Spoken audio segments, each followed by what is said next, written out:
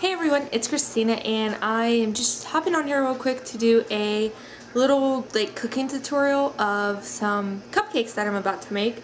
Now I have never made these and they're all from scratch and this is like the second time I think like yeah like second time that I've made cupcakes from scratch. The first time they didn't turn out so good.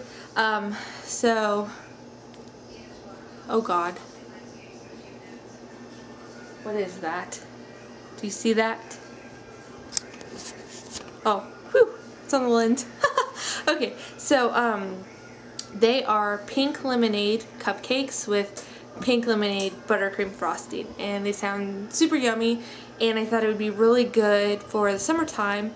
In here it's been like 93 to 95 the past few days and it's supposed to be that all week long and I was going to make um, brownie cookies with salted caramel cream and I still am going to make those but I thought this sounded better. So um, let's get started. I just want to show you the ingredients first.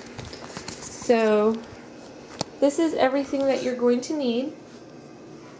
You need pink lemonade concentrate, buttermilk, egg whites, flour, powdered sugar, baking soda, baking powder, food coloring, which you cannot find the drops anywhere, so I had to get gel food coloring, and then unsalted butter, and then your mixer. So, um, I was a little shocked that I could not find the, like, liquid drops of, um, food coloring.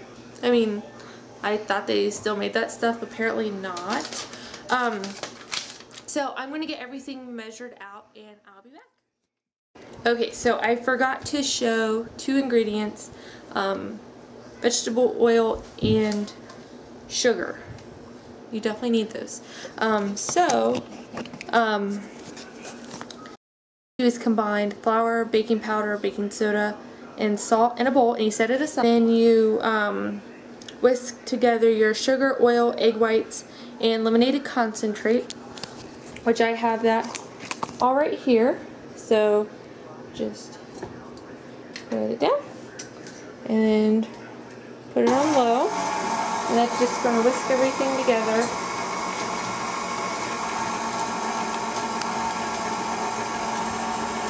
Okay. So while that is going, sorry I have my fan on. Um, you let that mix together and then you add in buttermilk and then your flour mixture.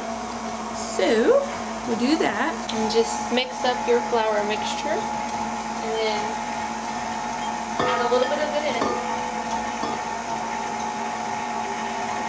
And you want to add this in in three different parts. And then you add your buttermilk in in two different parts, quarter cup.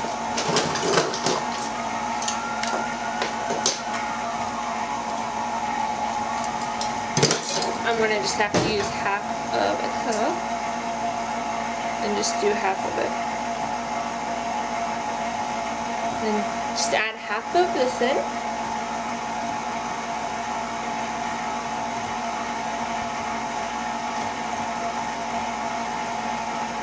And then add in more of your flour.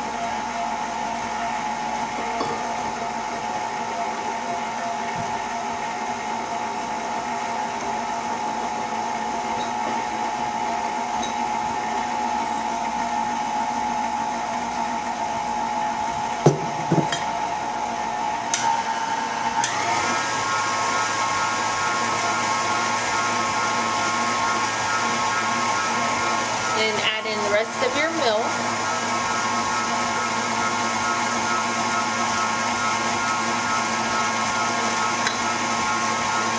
And the rest of your flour.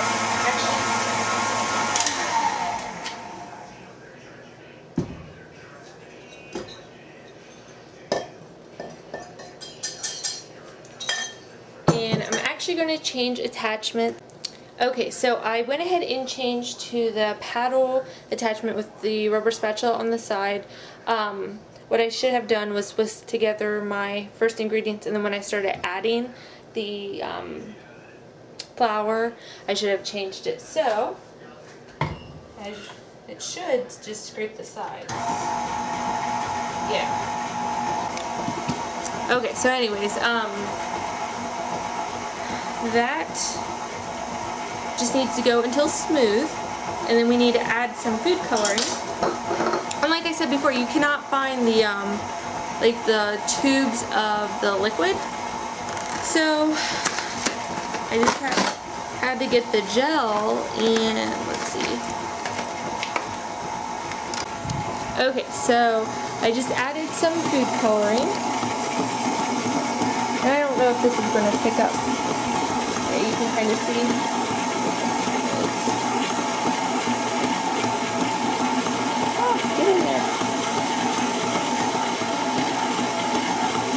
Oh, oh, there we go. So it's turning a nice pink color.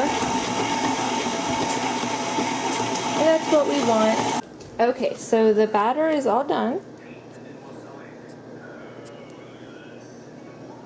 And a real nice pink color. So you're just going to move your batter into your liners and like I said this makes nine cupcakes. So Okay, so I got all my liners filled. As you can see, um, okay, sorry about the lighting. Um, as you can see, I kind of spilled some here, so you want to make sure you clean that up um, before you put it in the oven.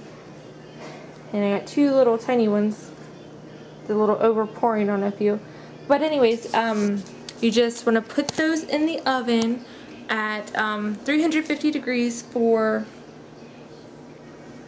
I believe it's like 20 minutes. So I'm going to get those in and get started on the icing.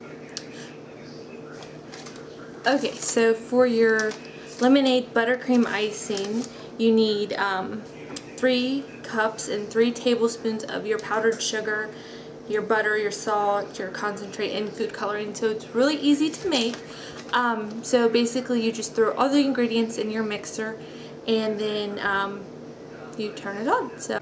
Okay, so I have everything ready for the um, icing and there it is. And with this you'll use the paddle attachment and lock it.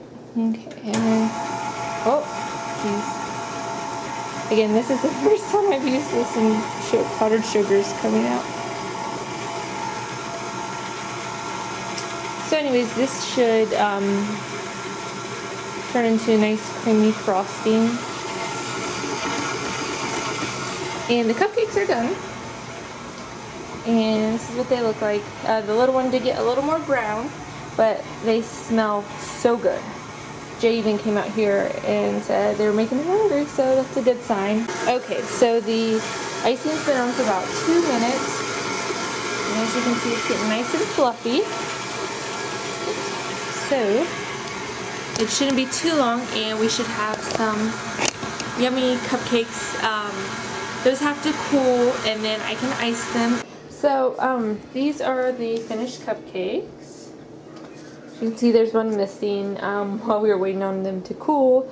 We tried the little one and I must say they're pretty darn good. Um, it's not an overwhelming um, lemonade taste, but they are pretty good. Um, they turned out really good, so you should try it. Um, I will link the recipe below. I found it on Pinterest.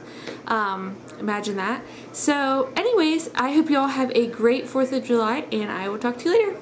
Bye. Okay, so one more thing. After eating one, the icing is very creamy. It just didn't, when I was putting it on with the spoon, it just felt like it um, it got a little hard, but it didn't. It was really yummy. And I am definitely making these again. So, okay, goodbye.